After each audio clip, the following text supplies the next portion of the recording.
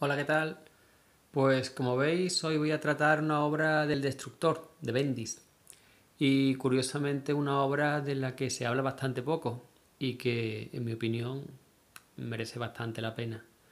Yo, cualquiera que me conozca sabe que no soy un fan del calvo, ni mucho menos. Me parece una de las peores cosas que le ha pasado al mundo del cómic de superhéroes en su historia. Pero también admito, sin ningún problema, que no es un mal guionista ni un mal escritor, y que cuando trata sus temas, género negro, y cuando no está dentro de continuidad salen cosas bastante buenas.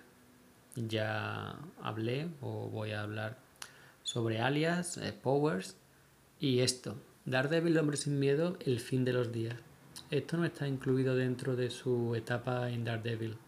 Esto se publicó muchos años después. Eh, creo que salió aquí en España hace un par de años, si no recuerdo mal y es eh, está dentro de eh, esa colección o esos, eh, esos títulos que eran el fin de estaba el fin de los X-Men, el fin de Lobezno, tal. esto salió como fin de Daredevil y está organizado por Ala Limón con Bendis y David Mack, con el que colaboró también en su etapa en Daredevil. Creo que ambos crearon a Aiko, ese personaje que la verdad está bastante bien, pero que nadie ha vuelto a tratar en condiciones. Y al dibujo tenemos al inefable, a Klaus Johnson, una persona que es amada o odiada y que en este caso creo que hace un muy buen trabajo, porque su estilo sucio y feista encaja perfectamente con el tono de la historia. Esto es lo que nos encontramos aquí al abrir la primera página del cómic. Eh, la pelea definitiva, la pelea final entre Bullseye y Daredevil. Como vemos, es una pelea brutal, sangrienta, sucia, aquí no hay nada de heroísmo, y aquí vemos la muerte de Daredevil. Esto no es spoiler ni nada, esto lo veis en las primeras dos páginas del cómic y de hecho te, te hablan de ello en la contraportada. Así que esto es un spoilers free reseña.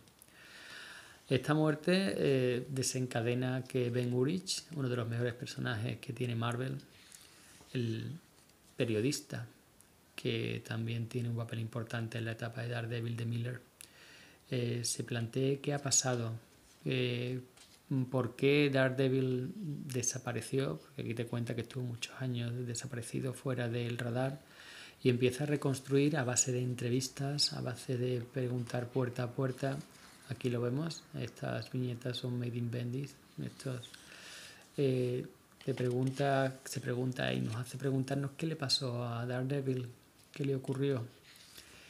Eh, nos cuenta a través de su crónica como Daredevil fue cada vez embruteciéndose más y perdiendo el sentido de la ley, o quizás no de la justicia, pero sí la ley que él había defendido siempre, y como llega a enfrentarse abiertamente con Kingpin y a matarlo. Aquí tenéis otra lucha brutal entre ellos. Y a partir de ese momento empieza realmente el cómic a partir de este punto. Eh, Urich eh, investiga antiguos asociados, antiguos amantes, y eso tiene una parte interesante, primero porque nos permite eh, ver cómo otros artistas participan en el dibujo. Tenemos desde a Bill Sienkiewicz, tenemos al mismo David Mack, a Alex Malev, que fue el dibujante principal de la etapa de Bendy en Daredevil y vemos a cada una de las amantes que ha tenido el Cuernecitos, eh, Viuda Negra, María Tifoidea, el más. Pues cada una de ellas se llevó un pequeño recuerdo de Math. un crack, el hombre. Eh, la historia se va poco a poco. Ah, mira, esto, esto es impresionante. La, la madeja se va desenrollando poco a poco y algunas respuestas, cada vez más preguntas. ¿Sabéis quién es esta? No os lo podéis imaginar. Mejor leedlo. Eh, cada uno, cada pregunta nos lleva a una respuesta y la respuesta crea otras preguntas más.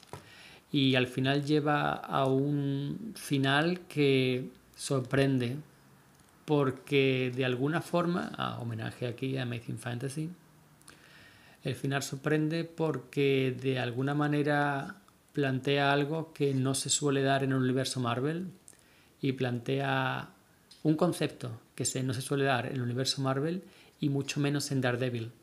Bueno, tenemos homenajes, eh, tenemos a la presencia del Punisher que no puede faltar en ningún cómic de Daredevil que se precie, tenemos eh, los ninjas, eh, flechas, homenaje a Miller. Y el final, como digo, sorprende por la inclusión de un personaje y de un título de ese personaje que no esperamos. Un muy buen cómic, un cómic que si te gusta el Daredevil de Bendis deberías tener para, digamos, cerrar su etapa y que aún siendo del Calvo y aún estando dibujado por Klaus Johnson me ha gustado mucho y lo recomiendo sin dudarlo. Nada más, un saludo y nos vemos en próximas reseñas.